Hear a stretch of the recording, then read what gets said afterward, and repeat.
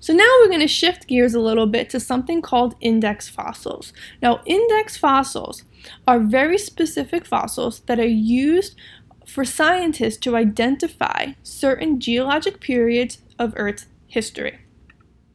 Now, here's an example of a um, index fossil. This specific fossil is called Bothriolepis, but its category is a placoderm fish. This organism lived about 350 million years ago. Another example of an index fossil is a trilobite. Specifically, this fossil is called Phacops. This fossil lived 400 million years ago. If you were to find one of these fossils in a layer of rocks, since they're index fossils, you would be able to determine the relative age of that rock layer because of that index fossil. Now, not every fossil can be an index fossil. Index fossils are geologic time markers. And to be an index fossil, you need to have two specific characteristics. The first characteristic is the fossil must be widespread. That means it needs to be found over a large geographic area. The fossil must only have existed for a short period of time in Earth's history. Our best example in the future of index fossils are actually going to be humans.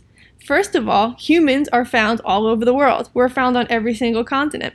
So we are definitely widespread. We take up a large geographic area.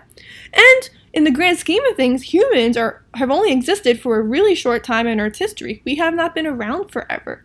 So those are two characteristics of an index fossil. So we're going to go through an example of how to identify an index fossil from different diagrams. So we need to know which letter, W, X, Y, or Z, represents an index fossil.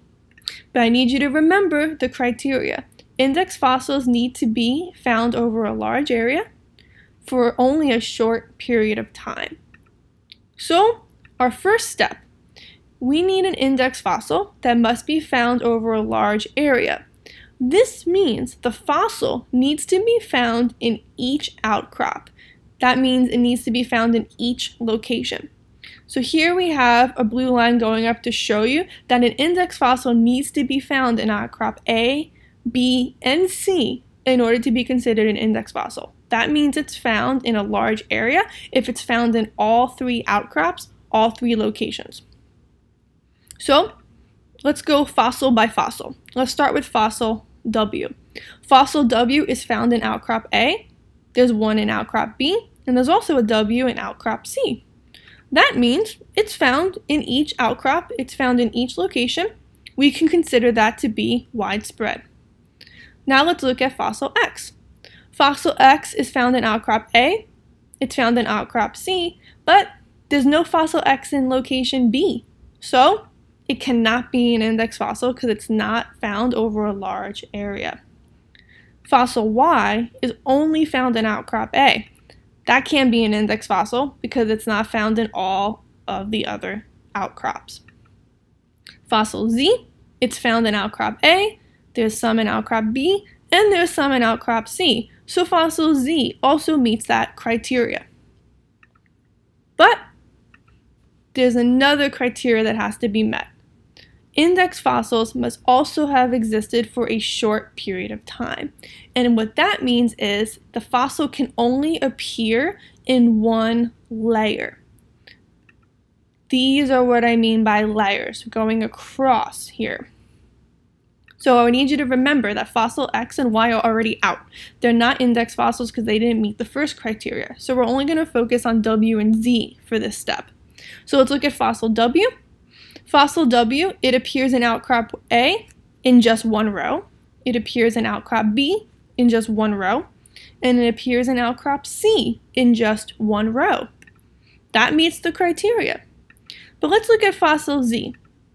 Fossil Z appears in outcrop A, but it appears in two different rows. It appears in outcrop B, but in three different rows. It appears in C, but in two different rows. That's not going to work. It needs to only appear in one row. So, uh, fossil W, it's found in all three outcrops in one row each time. That's what makes it an index fossil, fossil W. So now we have a general rule that we need to follow. To identify an index fossil, the fossil must be found in only one row in all columns. So fossil W is found in all three columns and within each column it's only found once in one row. That's the rule you're going to use when trying to identify an index fossil. So we have other objects like index fossils that we call geologic time markers. There are other events and materials that can help us determine time periods of the past. Those two time markers can be volcanic ash deposits or meteorite or asteroid ash deposits. So I have an example for you guys. 65.5 million years ago, an asteroid hit the Earth and the dinosaurs and other organisms went extinct. Boom! There's the asteroid. Kill the dinosaurs. Well, when you have a big volcanic eruption or a big asteroid impact, that impact is going to lead to a lot of ash, dust, and debris. Eventually, that ash, dust, and debris is going to settle and deposit on the surface of the earth, and that's going to be captured in the rock record. So here we go. This is a layer of rocks and I want you guys to focus on what I'm pointing to here.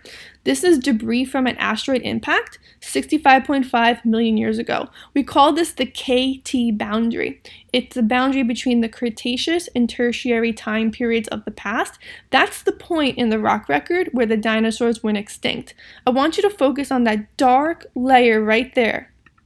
That's the ash from the debris after the asteroid impact. That ash deposited on Earth and became part of the rock record. So, similar to an index fossil, volcanic ash and debris layers are considered to be widespread and they represent a short period of time, which proves that these can also be similar to index fossils and important geologic time markers for us. I want you to look at this diagram here. We have three different columns of rock layers, and each rock layer contains volcanic ash. After a major, major volcanic eruption, the ash can spread in locations all around the world and become part of the rock record. And since the volcanic ash is found in all three columns and in one row in each column, we can consider it to be a geologic time marker, just like an index fossil.